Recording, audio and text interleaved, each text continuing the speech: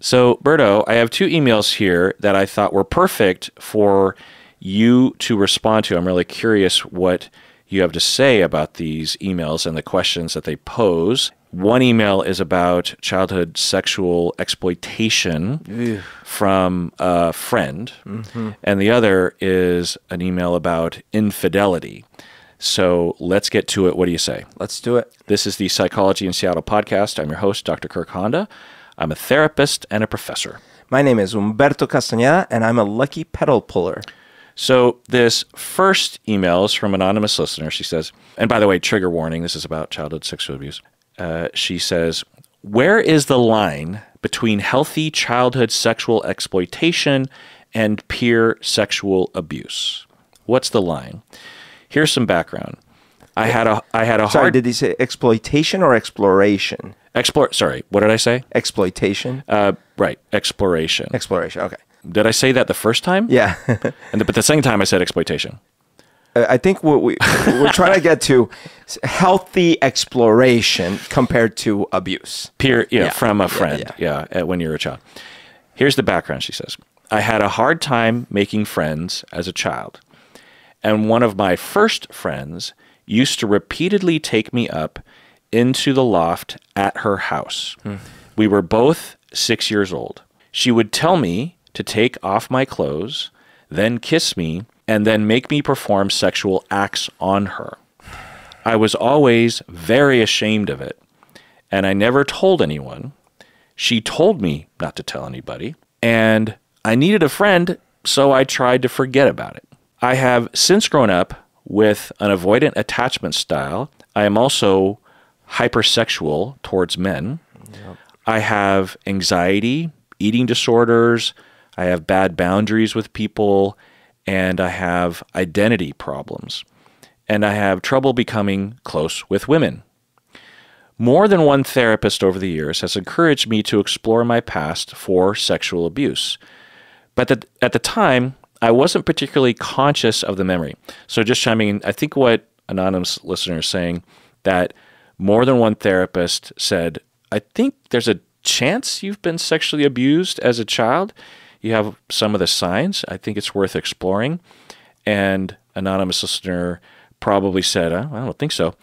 Because she's saying at the time I wasn't particularly conscious of the memory. And then recently became aware of these memories and is now wondering was that abuse or was that exploration going on with the email?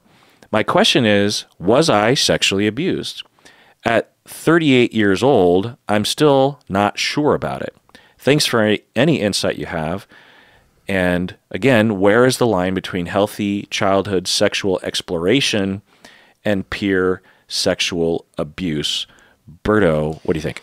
Yeah, I mean, obviously, one never knows. One never knows how much of this is accurate memories versus not and whatnot.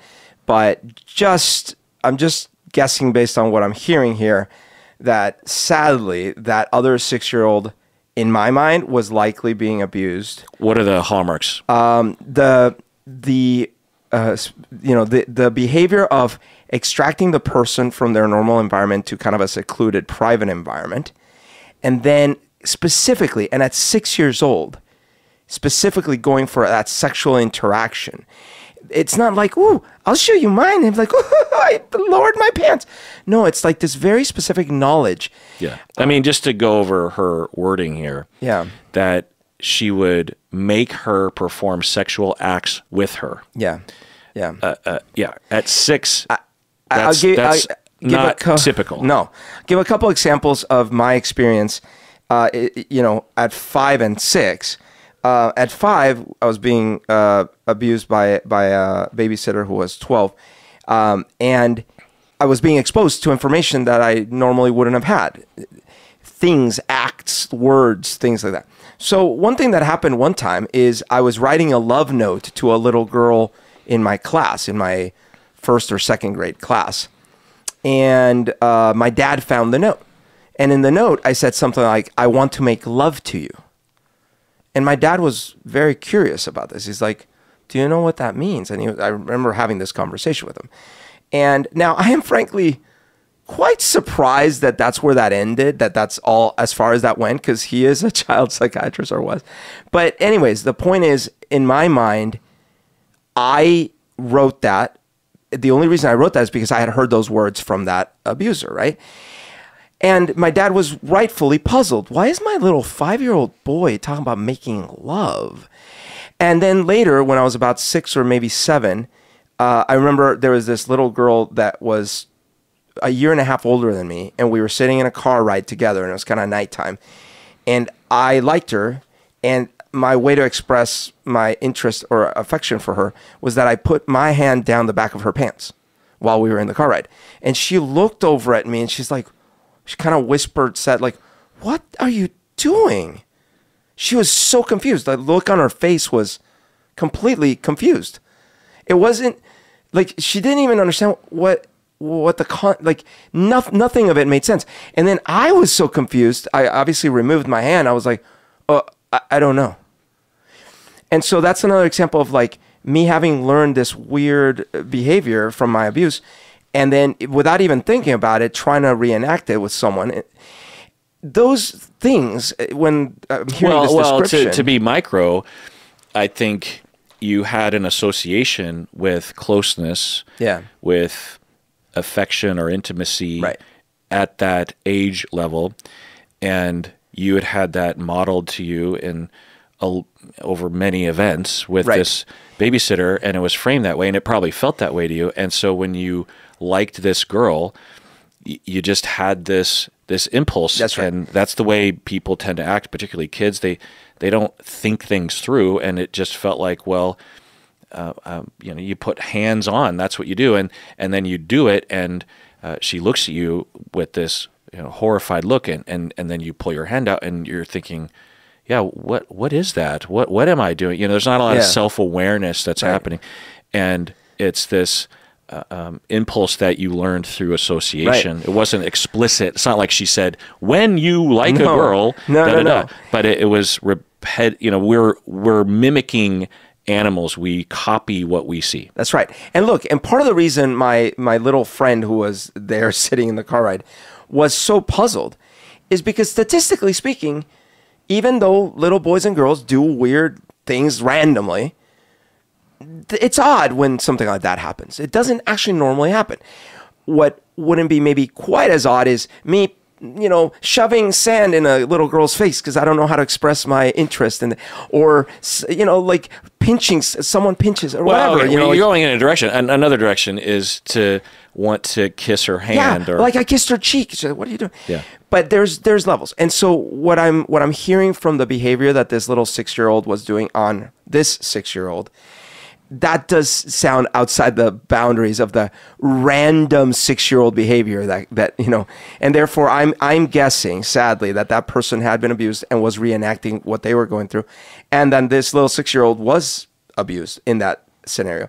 It, you don't have to to be abused as a little child it doesn't have to there's no like age specific age you know Yeah. now you could feel differently about the abuser right like certainly i'm not going to be like that six year old needs to be put in Sing prison for the rest of her life but it doesn't mean that the victim wasn't being victimized yeah, yeah You can be sexually abused by someone younger than you. Yeah.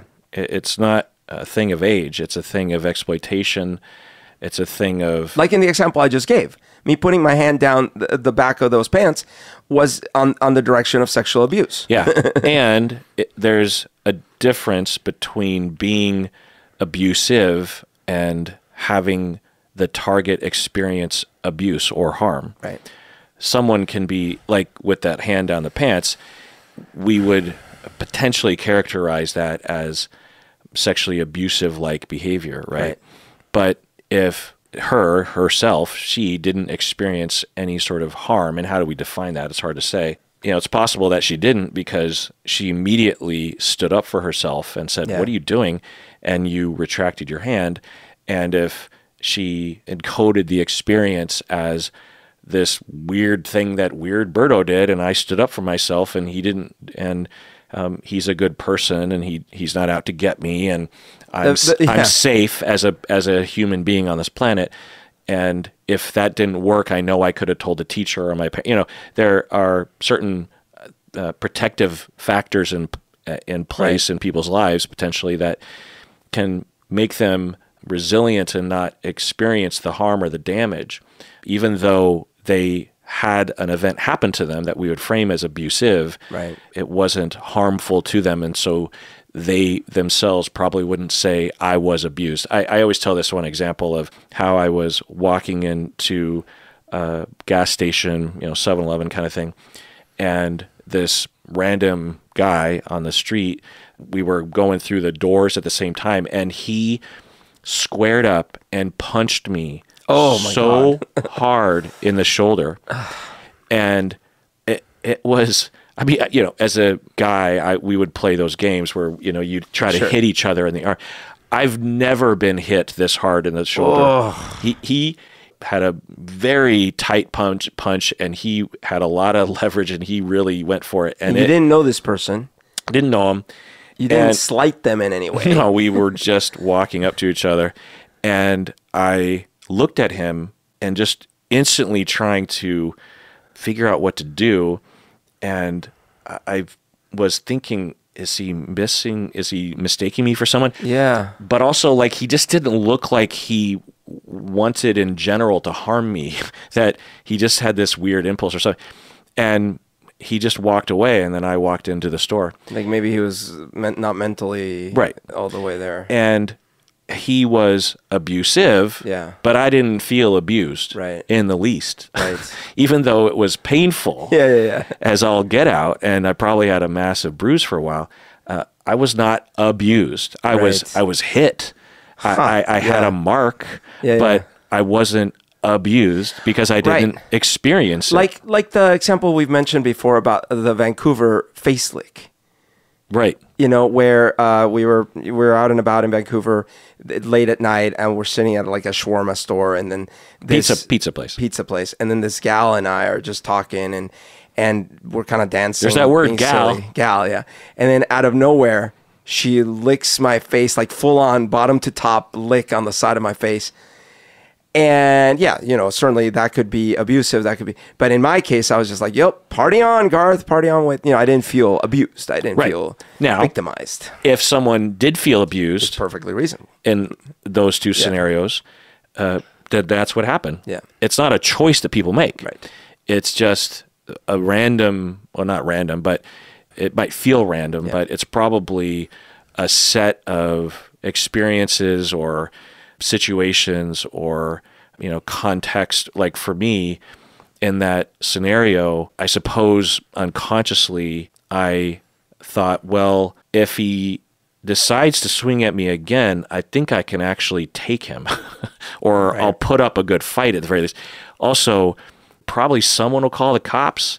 He doesn't know where I live. Yeah, yeah. Uh, it, it didn't. No one else is ever going to do this. I, the rest of my life, you know. And you don't even think of all these things literally. You just kind of No. like do a quick math in your head. Yeah. Uh, Whereas if someone else was in that situation, if they were smaller or if these things had happened to them a lot, Right. Uh, like if I had experienced other exploitative experiences that weren't even necessarily violent, like just situations that day, two other experiences that were along the lines of someone being nefarious with me and trying to get me, like I had a coworker who lied about me or something. Uh, this could push me over the edge and could really uh, rattle me and cause me to uh, start to question is the world safe for me Yep. do i have power Uh, can i trust other people am i worthless Uh, should i have stood up for myself? You know those kinds of questions are the questions that will cause downstream effects that that can be really damaging.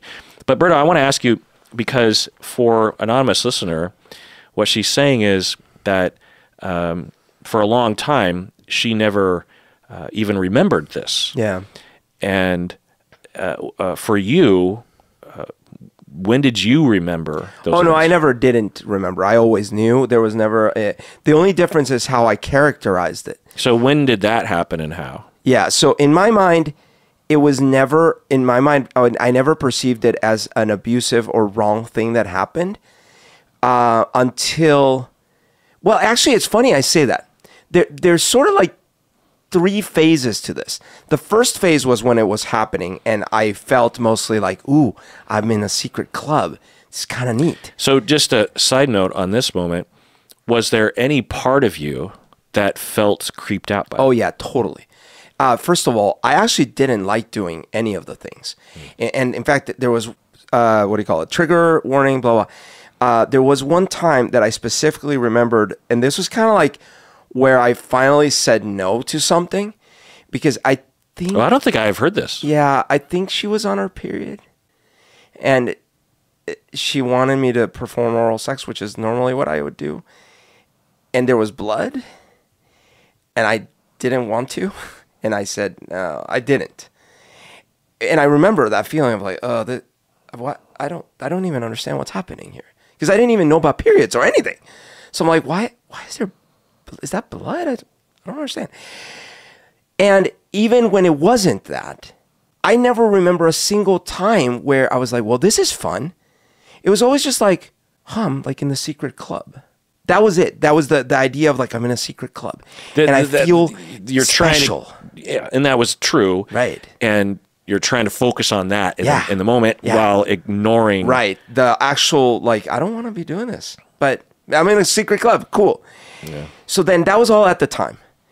Then years go by, and it's not that I forgot it, I just didn't think about it. You know, I went to Colombia. I, and that's typical because yeah. what guide do you have around No. thinking of it's not. easier to just Yeah. not think about it. But but to be but I want to be 100% clear. I didn't forget it. Yeah. I just wasn't focused on it. I wasn't thinking about it. uh, did you ever talk about it? Well, that goes to phase 2. Phase 2 is I randomly, bizarrely run into her at a party in Colombia when I was 12 and she was now 18. And why is because one family it- it's just a long connection. But anyways, the point I is thought she was uh, so six. she was 12 when I was 5. So whatever, 7 plus 12. So maybe I was 11, she was 18. Uh, something like this. Some, uh, and I'm at this party and I recognize her. And it's impossible not to recognize her because like even though it's been many years, it's her. And I remember this was a new phase because even though I never certainly raised my hand to anyone and said I was abused, I didn't even think of it in those terms. I knew something was secret and maybe not right. So I remember looking at her and trying not to break eye contact, and she avoided me. Meaning that you wanted to show that you're That a I big, knew. and you're a big boy now. I guess so, yeah. And uh, but I I specifically remember the feeling in my head was like, I remember even hearing the words like, I know, I know, but I don't know what it is that like I, I hadn't yet connected all the dots, right? It wasn't like I know you abused me, and maybe you were abused too. N- none of that, right? It was simply like, you can't hide from me. I know. Right. It, it, it's uh, not in a negative way. It's a power play. Yeah. Well, it makes sense. Logically, it's just like you know that she did something horrible and preyed on a five year old boy. Right. And now with your 12 year old mind, Right. you know what she did. and and sh- and you know you would have in any you you would imagine a, a different world a pretty beautiful world where the 12 year old babysitter who babysat this 5 year old years later at a party is like now she's 18 so oh my gosh it's you i can't believe how big you've gotten right instead there's complete avoidance she, she clearly seemed not you know kind of thrown off by this situation which of course now I understand fully why that would be because she's afraid in that moment. Like, oh God, what's what's gonna happen? So in this moment, it, it opened a can of worms, a good one, I suppose, that deserved to be opened about acknowledging in this very acute manner that she did something wrong to you. Yes, and it was I left it at it was more of like a wink wink kind of thing like ah, you know we probably shouldn't have been doing that you know i know you know i know Well, was it possible that there were there was that duality, like when you were a kid, where there's Yeah. a part of you that was really Certainly. soberly saying, yeah but you i was yeah. fucked up." Yeah, but I wasn't- did something horrible to me. But another part of happy-go-lucky Berto is just like, "Oh, Well, and happy go lucky 12 year old Berto, which is still pre. I mean, I, I don't even think I had had a an ejaculation. Maybe I had, but like Right. whatever. I was certainly like not a full on teenager with all my hormones and stuff. I was just kind of getting there. So it wasn't even 17 year old dirty minded Bear. No, it was like 12 year old Berto going, uh huh, I know. So that was phase two. And then after that, again, didn't think about it. Years Di- go by. didn't talk about it. Didn't talk about it. Didn't think about it. Didn't it. tell anybody. Didn't tell anybody. And honestly, I was never like, I, it never came to my mind. Then years go by. Then what happens is phase three, which is I'm in college and I'm pseudo bragging to my friend about this. I'm like, oh yeah, dude, I got I got together with a 12 year old when I was, and I, and and I tell him this, and he's like, what? That does he now? Remember that face of confusion with the hand down the pants? That was him in that moment. Like, oh, that doesn't sound okay. He felt he looked genuinely worried for me, and I was like, no, it's fine. But that was like removing a Jenga piece. And that for the next decade was the beginning of an unraveling that was really scary and bad. But I mean, ultimately turned out good, but it was it was heading down full on disaster and So right in the beginning, if, for example, you're asked to talk about whatever you want to just free associate about that experience when you were five the next day after talking with your friend and or your friend reacted differently like oh man yeah, that, that boys will be boys, girls will be girls, whatever. the next day, what would that free association sound like? Would it include similar to what anonymous listener is saying that I kind of frame it as just pure f- sexual exploration? What, might you have said something along those lines? Well, I, I even more than that, I still felt quote lucky. I got lucky.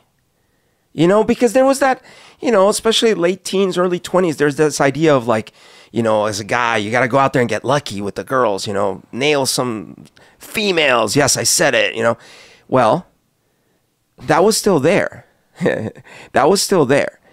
And so I think there was that part of my mind was like, yeah, dude, I mean, you want to talk about getting lucky? How about this one? That was how I was framing it. Was just this cool thing that happened to me. Even though I had had those feelings when I encountered it at 12 and stuff, it didn't really register. Mm-hmm. And until I saw a peer that I respected, in fact, what was most shocking to me is it's a peer who was just as or worse dirty minded as I am, whom we would have absolutely been like, dude, gotta go to the bars, whatever, the whole thing, not reacting at all how I expected. Mm-hmm. That was the first time that I go, what? Yeah. So, y- i- similarly, in a parallel manner to anonymous listener, that it's possible that she is at that point where you were at around Yeah. the, where the memory is there now, Right. And uh, if she hasn't thought about it in a while, she doesn't really think about it, doesn't talk about it, and maybe if she had, she would have characterized it as exploration, just stuff that kids do. And she's at that point where she's mostly still thinking it's exploration, but there's this question mark. And to go over the hallmarks of your narrative that you're saying, anonymous listener, and typically with clients that I work with, as they start to go down the road of exploration of this memory, there are discovered elements and components to the memories that become more in focus. Like for you, Berto, when you first started remembering this in therapy or something, you might have had a, a surface level memory of all the events. As you start to think about it and talk about it, I'm guessing you started to flesh it out more and say, well, yeah, actually, if I think about it, I, I do now that I'm thinking about it, I, I remember this other thing that happened, and it it, it starts to expand on on the story, right? You know, I, I it's what's weird about this particular thing is that I actually always seem to have had the vignettes mm-hmm. recorded almost as little mini trophies or something. Hmm. So I didn't have a thing where like, oh, that's right, this other thing. It was more like, hey, which which of these trophies do you want me to show you? Hmm.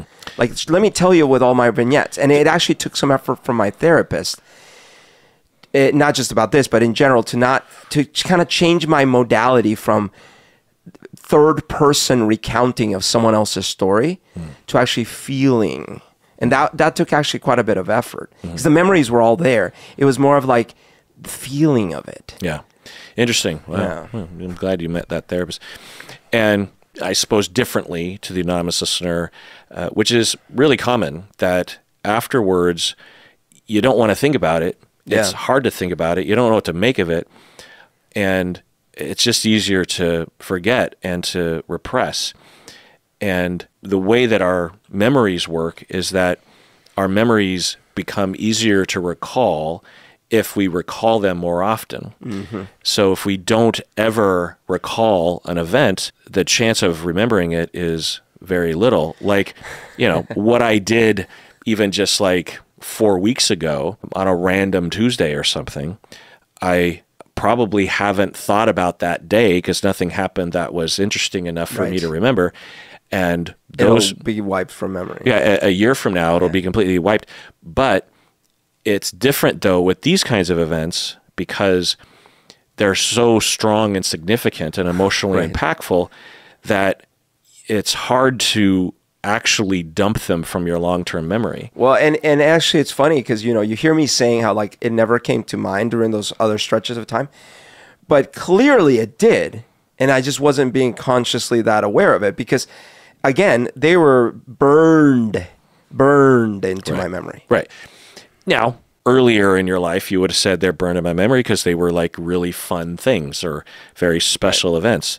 But now, after allowing yourself to feel the feelings that you feel naturally, you see it as mostly negative, Yeah. exploited victimization with some positive aspects that you highlighted. But, uh, anonymous listener, to use your words, you were saying she would repeatedly take me up into a loft. That's Yeah. not uh, two kids participating in an event. You also say Yeah. she would tell me to take off my clothes and then make me perform sexual acts on, on her or with her. um, that that's uh, uh, the way you're wording it. That's like uh, I won't go into specifics, but I did have uh, sexual exploration experiences as a kid with my friends, and I would never word it this way. No, no. Here's a here's a one that literally happened to me, and it, it was I I've never felt any bad things about it because it was like this. Uh, it's like I'm sitting there reading a book, and I notice these two girls about our same age. We're all about the same age. They're in another room, and they're and I and as I look down, look up from my book, I notice their pants are down, and then they quickly put the, pull their pants up. I'm like, oh, and then I'm like, okay, it's it's in the room across the hallway, and both doors are open, and they know I have a clear side of view, except I'm looking at my book, right? So okay, So it's clear So- that they're they're trying to show you something. Mm, not yet, but then at some point it becomes, hey, you should show us your. It's like a typical, like show us yours, you'll show you. And then I, after a lot of cajoling, because I I was like, I'll do it if How, you guys. how old are you again? like eight, Okay. maybe. After a lot, because I was like, okay, well, show me what you got, and then maybe I'll show you what I got. So they did. They pulled down their pants, and I was like, okay, I don't know, whatever. And then I kind of reneged on the deal for a little bit, and then after a long while, I was fine, and then I did pull my pants down. But that to me was like that kind of typical thing that happens at those ages. which Well, is- even if it's typical, especially the way you're describing it, it could have absolutely been abusive to you. It sounds like you, well, I picked up, I was in a different room. I stopped reading, stood up from my position, went over to the other room to sit down to keep reading there. Oh. Because I was certainly interested in what was happening. Oh. But then the element of Yeah. them cajoling you to take your pants off. well, because I did make a deal, right? I said, hey, if you guys do it, I'll do it. Yeah. And then I reneged. Man, listen, I'm not saying these things But, are. but I just I'm yeah. not saying that you were or that you should have been. I just want to clarify for others could have gone through the exact same Sure, scenario sure. and it would have been But it- it- harmful. the the reason to me I would categorize that differently is because, uh, first of all, like we were all about the same and, and age like age doesn't matter in fact in this case example they were the same age but it wasn't like some adults pulling down their pants or something you know it was just like weird and it's also at the age where everyone is naturally curious Well, again, yes, those are all considerations. but- And- but, the main fulcrum is harm and coercion. Oh, absolutely, absolutely. But eh, yes, and um, even if let's say because you know someone maybe is more shy or more worried about their body, or whatever, and they could have accidentally harmed me in that moment, Mm-hmm. but they weren't trying to be abusives, uh, abusers. They weren't like you know. but even you see what I'm saying? even if someone isn't trying, they can still right, but there's a difference between like someone's like repeatedly taking you behind the Yeah. couch into the other room asking you to perform sexual acts on them all those kinds of things versus a one-off thing where you like showed each other's genitals But this is the answer that I'll have to the main question of anonymous listener is what's the difference between peer and peer exploration sexually and sexual exploitation and abuse?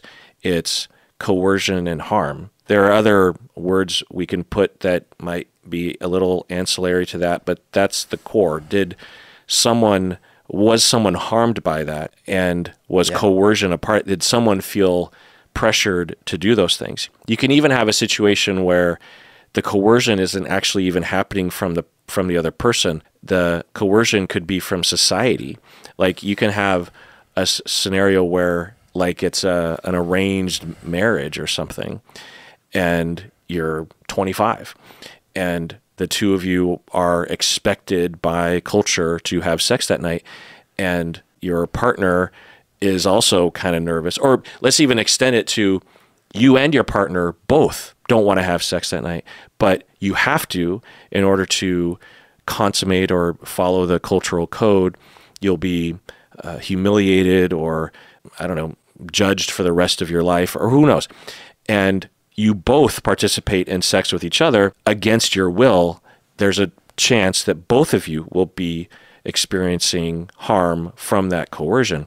So it, it's it's the coercive nature, the the nature of not having a choice. Like when you, Berto, were with the babysitter, if you had the power and you were given the choice, I'm guessing you would have said, look, with an adult mind, I suppose, you would say, look, I love that you are making me feel special and I want that. I don't want to perform sexual acts on you. Right, right, right. Uh, uh, but I would love to have Be like, friends and let's color together. or have our own special fort where we have our Yeah. special Keywords, language. secret words, whatever. Yeah.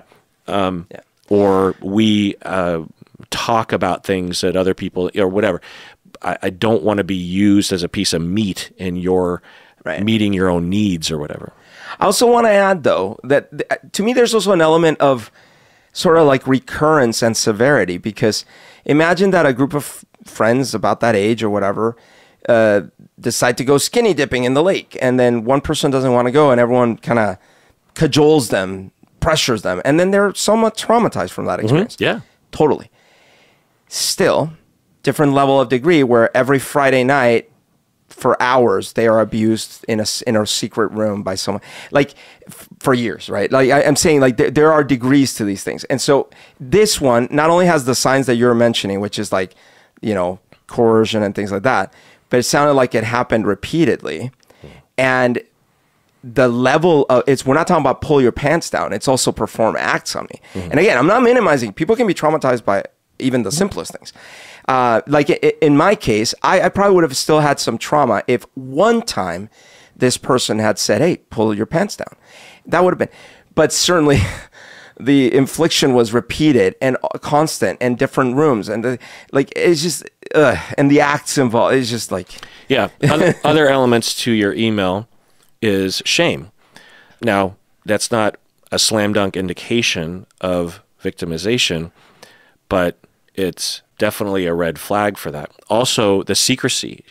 You said in your email, she told me not to tell. Now, again, if you had exploration, Right. and one person was like, "Look, you can't tell anybody because my parents will, you know, kill me." Uh, that's one thing. But when you put everything together, um, also according to your narrative, you were someone that was having trouble finding friends. And I'm assuming she was not one of those people. And so there's a chance that she even identified you as an easy victim, Yep. as someone at the very least to control and have under her thumb. And at worst, she knew from the beginning that she was going to do something like this to you, not because she's an evil human being per se, but because in all likelihood she had been harmed in this way and was acting out on it. Oh, and by the way, like to give to give an example of what you were mentioning. So, you know, I mentioned the scenario where it's like, you know, we were playing show me yours, I'll show you mine. But I actually had a different experience where I, I did feel it's almost the same scenario, but I did feel like that was not cool. Yeah. And it was I- once again in New York. New York was a very unsafe place. It seems like um, this little boy was two years older than me, so I was five. They were seven, and they lived in the same building where I was babysat by this person. So it's possible that person was also abusing them. I'm not sure, but here's what happened. Sometimes I would go to that apartment, which by the way, apparently my dad didn't know because like what it would be is like I was supposed to be being watched by the other people, but they'd have to go do something. So they'd just send me upstairs to the other thing. And so I was there. And this little boy, clearly in retrospect, there must have been some bad stuff happening because number one, he would always talk about like all these he, he he told me he had this secret room at his school where he would have sex with girls. This is a seven year old boy. So there's something not right right. Yeah. And then one time, and this is what, what I'm alluding to, one time he basically cajoled me to uh, showing him my penis. And I think he showed me his, I can't remember. I didn't feel good at all about that. Hmm. Nothing, there's no touching, nothing happened, but it was pressure. And he was two years older. So there was like, you know, it wasn't, he wasn't a big kid, but it was like, you know, at Yeah. that age, two years is a big deal. Wow. And I felt pressured. Yeah. You know? you never told me this. Just the fact that he was exposing you to ideas of sex. Yeah. Let alone that he coerced you, forced you. Right, and I had to lie because I felt I was like, yeah, I have I have a secret room in my school too. Like you know, I was like making all this stuff up because he was telling me these things. Yeah. That was an unsafe, abusive relationship. Yeah, yeah. That's not exploration. That's not exploration. Yeah. Um, I want to say also that I did experience one event that people might have framed as exploration, mutual exploration. I did experience it as coercive and very uncomfortable. There was a, a girl, I think I was, in my head, we were like four. Uh, we're the same age. And she said, uh, uh, you know, I'll show you mine if you show you yours. And I didn't, I, I don't think I had done things like that along those lines. And, and by the way, I, I know her now. I've known her my whole life. like we've Right, right. grown up together and she's, you know, a f- good friend of mine, not a good friend now, but um, she's a good person. so I, I don't know what's going on with her, but she wanted to do that. And I was uh, basically like, um, okay. Like you felt pressured into yeah. And so she uh, uh, stripped completely naked and then says, okay, your turn. Oh boy. And I'm like, uh, uh, and I, you know, there's nothing about this that is appealing to No. me or something I want to do. And I remember that I unzipped my pants, which was kind of a big deal to begin. Yeah. with. Like, your flies open was a big deal. right. I unzipped my pants and I just kind of laid on my side, Oh my god. like, I hope that this is enough. Oh, poor little Kirk. You know? yeah. and that memory is burnt in Yeah. my brain because it uh, and and she I think she was really trying to you know get me to undress and it didn't work I, I just held my ground so to speak Yeah. or uh, and then that was it and it never happened again anything with her but the other explorations that I had with my friends my really close friends actually were um, you know pretty numerous actually. Mm-hmm. I mean, not in the dozens, but like I don't know, maybe five to ten things that I can remember to this Right, day. right, right. and they were, from my memory, mutually agreed upon and pretty low stakes. Yep. Um, but if we were happened upon, it would have looked Yeah, pretty, been it would have looked pretty weird. Yeah. And a lot of it was exploration of our bodies Yep. and self discovery in a way that we were not given that opportunity in any other circumstance. it was facilitated partially by the fact that in the 70s, we were always outside uh, whenever we could be because there wasn't anything to do inside. And there were all these woods and trees. And so we would go into the woods and wander for miles. And uh, uh, our parents, we could be 10 feet into the quote unquote woods.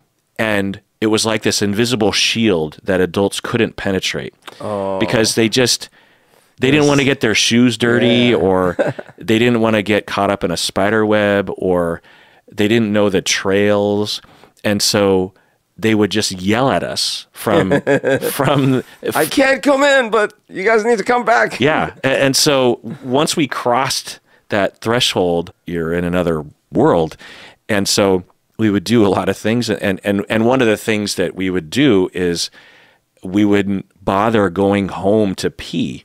So we would just pee everywhere. We had designated spots Sure, that we would pee uh, but there were many of them in the woods and we would pee together.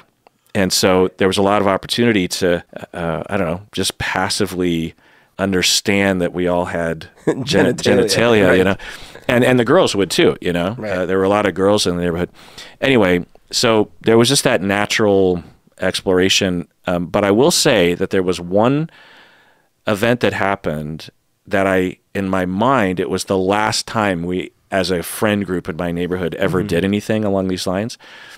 And it was two of my friends, and I won't go into graphic detail. And I think it was mutually exploration. Mm-hmm. But the things that those two were doing, because we were a little older, I don't know mm-hmm. how old we would have been, maybe like fifth grade or something. The things that those two people were doing were definitely in the direction of having sex, ah. but not having sex. Right. And they wanted all of us to be doing it, like all of us friends in the in the woods, and none of us wanted to do it. Normally, we would all be doing the same Sure, sure, thing, sure. but this time, That was a, a, a line you would you guys me and wanna the other friends were just kind of looking at each other like, uh, we don't want to do this, right? This isn't. I mean, that's good for them, but uh, let's go like ride our our, our bikes around the, the trees or something. Um, Oh my gosh. Um, and in my head, that drew this line right. that we just never went there again because it was like, ooh, this is this feels different, you know. But I don't know. I mean, it's possible that those two, maybe one of them wasn't really wanting to do it. I don't know. Yeah, yeah. I know those people. I guess I could ask Yeah. them. But anyway, so uh, advice to you, an anon- anonymous listener that I have, is to continue to explore this in therapy. It's totally normal to have these memories emerge later on. It's also normal to not consider this sexual abuse, even though it it it, it might have been, because in our society we don't think of two girls who are the same age as having that element, you know. Right. But from your narrative and from the description, you know, it's a good chance that that it was harmful, and it would explain a lot. I, I don't think uh, you didn't say this explicitly, but it sounds like you have a lot of classic signs of having been sexually abused. You talk about hypersexuality, the anxiety, eating disorders, that kind of thing, and many therapists have, as you've been working with them, have said there's a chance you've been sexually abused. So I'm I'm guessing by context you don't have another sexual abusive history story element in your history um, to say, well, yeah, there was that one thing. So you know, it's possible that this was that, and if it happened repeatedly, that can really do a number on you. You know, you're Jeez. just think about it. you're six years old. Yeah. You know you have trouble making friends. This popular kid or a kid that is cool that you would just love to have a you know you you you see other people with friends. You know, when you're 6, friends are everything, right? Yeah. Uh, the, to have a friend or to have two friends or to not have friends. Right. I mean, it is it is rough, and to finally have that happen, and then you're just so giddy and so happy, like finally I'm normal, and then you're just being used Yeah. for your, uh, you know, as a I keep saying this, but like a sack of meat, you know, Yeah. that that's the lesson that y- you walk away with, and like Berto, you could have been experiencing it as a, a very negative thing, but just trying to go along with it because there was so much at stake and you didn't know better.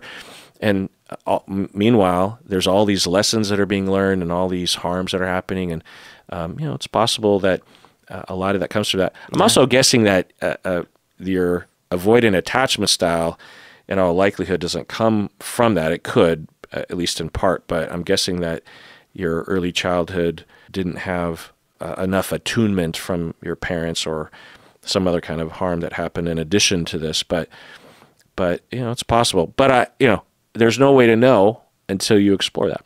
All right, let's take a break. When we get back, one more email. What do you say? Let's do it.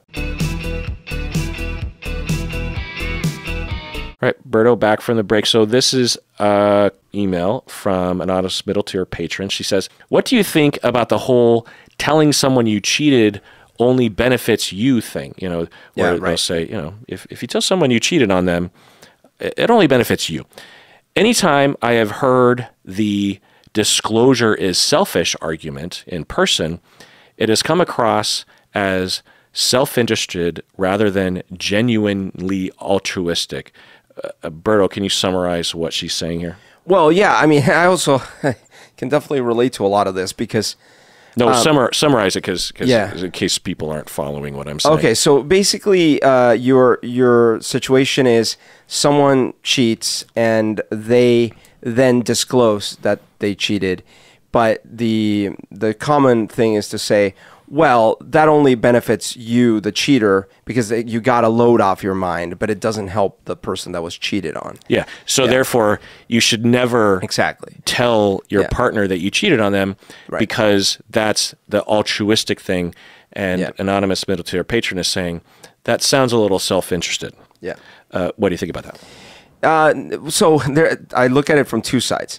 One, it definitely can be used that way, and I have done. I've been guilty of that throughout, uh, not throughout, but at times in my life, uh, where essentially I used to have this philosophy where the main thing is uh, I was like, I'm going to be honest. So no matter what I do, I'm just always going to be honest about what it is that I've done. Now, and I do stand by that. I do think that ultimately hiding secrets and, you know, having like mysteries that you hide from the people you love is actually not good. It, I, I think it's bad. so I stand by that. That said, I- here's the, the trick. So let's use a different example. Let's say I'm like, oh my gosh, Kirk. So last time I was here, I, I gotta confess, I, I took one of your books without asking. So I, I, sh- I shouldn't have done that. But anyways, here, here's the book. I'm like, okay. Next time I see you, hey, Kirk, just so you know, last time I was here, I once again took a book. And I just keep doing this. But I'm telling you every time, well, wait a minute. Maybe the first time that was noble, but like, come on.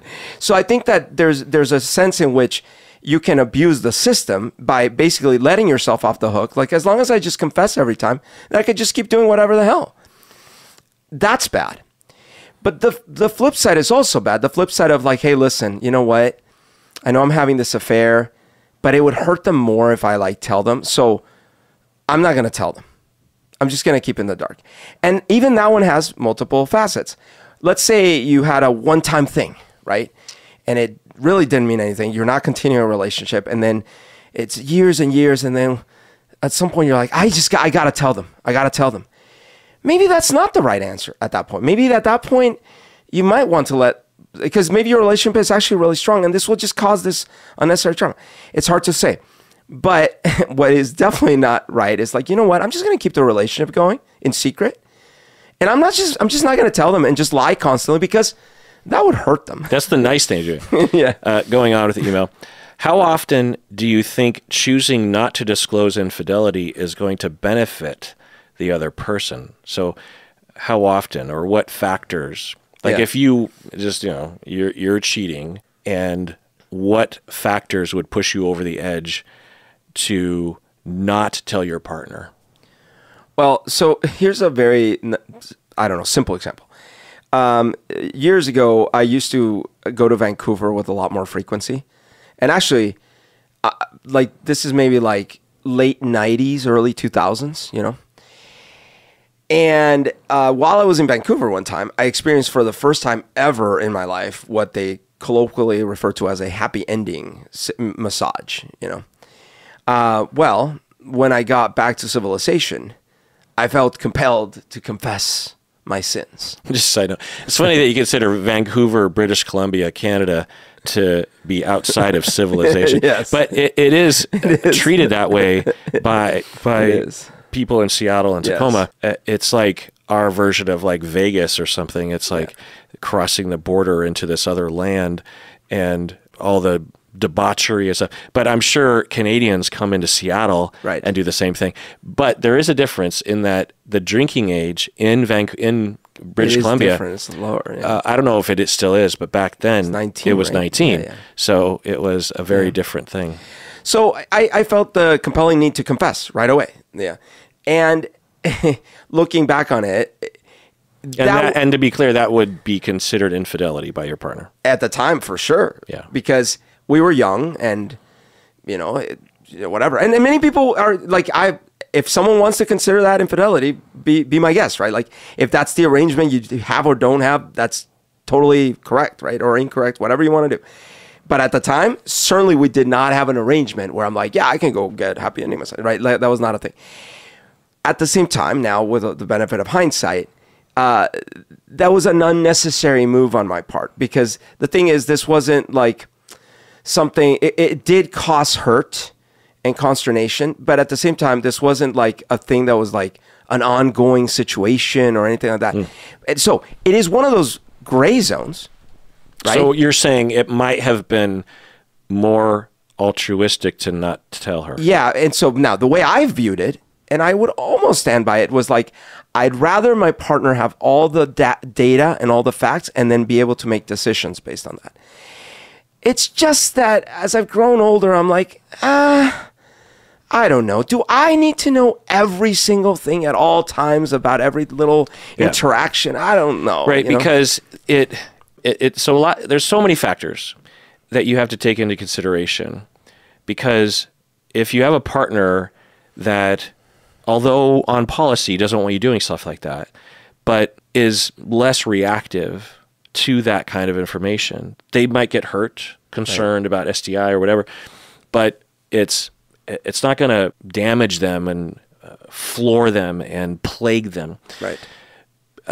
then telling them has it's less of a risk. You, you never know how it's going to affect the other person, Right. but whereas you have a partner that could just be destroyed Right. by that, then that is a factor. Another factor is are you going to do it again? Are you Right. taking measures not to do it again? Right, because like the, the the thing that I will still agree on is like, well, wait a minute, rewind.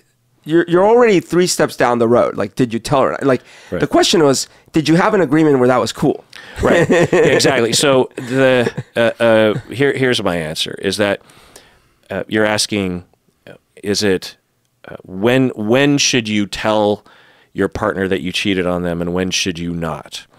Because clearly uh, there's a debate and there's some self-servingness to saying well i'm doing the nice thing by not telling them but sometimes you know it might actually be the altruistic thing so it really it really depends and there is no rule to this i've been down this road many times with friends and with clients and there is no way to know you have to take case by case Yeah. but uh, getting to what Berto is saying is that being three uh, steps down the road already is that ideally you would not have cheated in the first place. Right. But if you are, you have to choose between the lesser of two pretty big evils. Right. Number one is you're cheating and harming your partner in secret, and you hope that they never find out, which might save them from additional harm because they're already being harmed right. by the infidelity. But if you withhold the information, then you might save them from additional harm by knowing about it. And this all uh, assumes that you're doing something to not do it again. Going to therapy, uh, you know, taking measures, cutting off relationships, telling the person you can't see them anymore, or whatever. And, But- and sorry to interject there. That was that was to me the biggest problem that I had when I was younger is that my policy was truth always. But it, it wasn't accompanied by let's go to therapy. Right, Let's go try to fix other problems. like what a middle tier patron is saying, it's self serving Yeah. because to you, you're like, well, I'm being honest, Right. and she could leave me if she wants to. But if looking back, you you know that given her issues, she wouldn't necessarily have the agency or the the foundation to really look after herself, you know, and make Well, those and and, it, and let's be I'll be honest with myself. It's a BS argument because if she had decided to leave me, I would have been devastated. Yeah. I wouldn't have been so blasé. Well, good. I mean, that's how I wanted it. Right. I, It'd be one thing if, if the two of you were like, you know, equally ambivalent about the relationship. right. You know, it was in the beginning or it was on the rocks, and you're just like, hey, FYI. yeah, I just I got to tell you. And if you know push comes to shove and she leaves me, then I guess that's the straw that. But but that was not where you're at. No, where, I where you're at like, was why you leave me? yeah. Um, so if you don't tell them, you might save them from additional harm from them finding out, but you are risking massively harming them, potentially traumatizing your partner if you are found out suddenly. And in those situations, not only is your partner being harmed and they're going to lose trust in you because of the infidelity, but they're also going to lose even potentially exponentially more trust in you because you've been hiding it from them the whole time. Right, right, right. Um, I, I had a, a client who actually suffered from post traumatic stress disorder months after discovering that her husband had been cheating on her. The uh, uh, it's not always the case, but you know she came across some texts and it was right there in black and white. You know, she's scrolling through it, and her body had this fear reaction, and, and she hadn't been sexually abused or anything in the past, as far as I knew. But it made total sense to me as she's describing it because your life is being turned on its head, hmm. and you are now realizing, wait, so he's been lying to me this whole time. Does he love me? Does anyone love me? Am I safe in this world? Is he looking after me? uh, what what else is he doing? You know, like it, it's natural to have it blossom like that, and that is a terrifying. Yeah. Okay, so then your other evil choice, I mean, your the lesser of several evils, is again you're harming your partner in secret by cheating, and then at some point you reveal the cheating to your partner, which will cause them uh, profound hurt and demoralization, and their trust will be destroyed.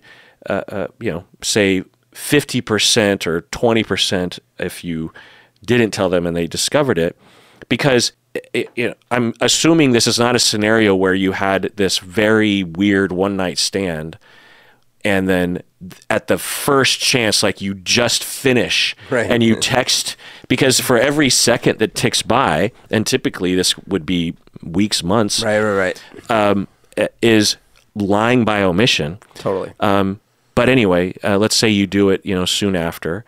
Uh, the the damage is there, Yeah. and telling them will destroy their trust in you and and really hurt them. But you're not risking them finding out and being traumatized in a in a to a greater degree. So either option is horrible, and you can uh, avoid that conundrum by not cheating in the first place, and you can avoid that conundrum by understanding your needs Yeah. and uh, proactively addressing them and planning your life out in a differentiated manner so that you can get your needs met Right. uh, with the best path forward. Unfortunately, because of the way we structure our society and our learning process, many of us don't learn any of this stuff until it's well too late. And we're like in our late 30s sometimes. Yeah. Now, I'll in conclusion, I'll say it is possible for me, and I've been here before, where I have gone along with someone's decision to not tell their partner because they had evaluated thoroughly and comprehensively that that was the lesser of two evils. But if someone said, well, you, you don't tell your partner because that'll hurt them, and, and just flippantly says that, and, and that just, you know, job done, I'm, I'm in the clear, then that is a problem, and I would potentially Yeah. not want to be friends with someone like that. Because it means that they might, it, it, it sets a precedent that what if I'm looking at my shelf and five of my books are gone? You know what I mean? Absolutely. Now, look, when, when I look back, I still think it was ultimately better in my situation because I hadn't sought therapy yet, because I hadn't gone through the years of idiocy that I needed to go through. It was better ultimately that I was at least, at least always just honest. you know, just it, it- you were mentioning lessers of two evils. In my case, I look back and I'm like, well, uh, yes, was, my mind was such a mess, and Yeah. But at least I wasn't also tripling down by living in lies day in and day out. And the way that I see it is the arc of history bends towards justice, that this was a, a necessary step towards health. Right. And treating people well in your romantic life. And given where you were at, we wouldn't expect that you would leapfrog several steps. You know, this, this Because was right, because what would have been nice is okay. Let's say I mess up, and then I actually take three steps at the same time. One is I'm not actually going to bring this up, but I'm going to therapy. I'm going to never do it. Like I'm going to correct my life. You know. Yeah. And maybe okay, but that's not what we were talking about, right? Again, it was the And and to be clear, the correction wasn't like I need to be a better person. It was I need to get in touch with my trauma totally and my emotions. Exactly. And I need I need to Exactly. I need to be given the attunement from someone, a therapist, who actually pays attention to me and, and allows me to slow down. I, I, absolutely, because that's so important that you said that. Because actually, i at the time, if you had asked me like, "Hey, is there anything wrong with your decisions?" I'd be like, "Oh yeah, totally." The surface level is the wrong thing. Yeah, and I see this all the time when I watch reality TV. There will be people that will be caught cheating or some other thing like this, and they will often have these very brief answers. They seem to be remorseful, Right. kind of, Yeah, I shouldn't have gone to that strip club, dude. You're right. like, eh, or they'll they'll, Okay, quote, they'll why? quote unquote take responsibility. Right, right, right. They'll say, "Yeah, that was totally wrong. I screwed up. I, I should never have done." I mean, that's better than just being Right. worse than that, but. You'll hear that and it'll sound like, oh, well, obviously it'll never happen again. But when I hear those things and that's Right. all I hear, I'm I'm hearing you then. Yeah. Which absolutely Yeah. means whatever personality problem led to that is still there. still there, and yeah. of course the the uh, cheater doesn't know that that thing exists. Right. And so the cheating or something along those lines is going to happen again. And they will probably, again, identify that it was wrong. And uh, uh, I mean, at least that's the hope. And they'll feel remorseful Right. and they'll apologize and they'll say they'll never do it again. And they might even beg to have their partner come back. And from the outside, it'll be framed by the internet as it's a narcissist, it's a psychopath, because it, in a crude way, it looks like that. Because how could you continue to do those things and apologize and acknowledge it? Right, right, uh, uh, how do those things coincide? They can't. It must be a trick, right? And it can be, but more often than not, like the vast majority of the time, honestly, it's because of something along those lines. And for you, it was a denial of your emotions, of the you on the inside, of your needs, an unawareness of what was happening, a desperation for distractions from the pain, you know, that had never been acknowledged. So not even related to sexuality, for example. I used to do these things where every now and then, intermittently, I'd go out on a social night and I would get way, way, way too drunk. And I would go out and wander the city in the middle of the night by myself. Super dangerous behavior. Like I'd be by myself, totally intoxicated. Did you ever punch a guy at a at a 7-Eleven? I didn't. I see where you're getting. with- No, but I did yell in people's faces. I started talking to drug dealers. I pretended to be an undercover cop. I don't know how I didn't end up dead, honestly. But if you had asked me, Berto, don't you see that the, uh, you know next day I'm sobered up? Whatever. Don't you think this is? I'm like, oh, dude, yeah, no, no, oh, I I can't drink that much, man. I the problem would have been, oh, I drank too much, or like, I, I if I drink that much, I shouldn't go wandering off by myself like that. There wasn't an awareness of why. Why did I even drink that much? A, B. When I did drink that much, what came out? What is that? because there's no modeling for this. No, exactly. There's no awareness of this, particularly around men, by Right. the way. And when you're that young, none of your friends, or very few anyway, are going to therapy and No. thinking about these things. So you're just lost. Doo-doo-doo-doo. Yeah. What what option do you have other Yeah. than to say, yeah, yeah, yeah, Yeah, dude, no, that, I- that I- was wrong. I need to. I need Never to do that again. I need to cut back, and I need to um, not cheat. I need to stay away from those places. I, I'll just never do it again. I'll, I'll, I'll And next it applies time. to everything. next time I I'll say no. That kind of stuff. It applies to everything. I shouldn't spend that much money like that. I shouldn't. I shouldn't. I shouldn't. Right? Yeah. It's all the things that we are aware of. Like we shouldn't do that.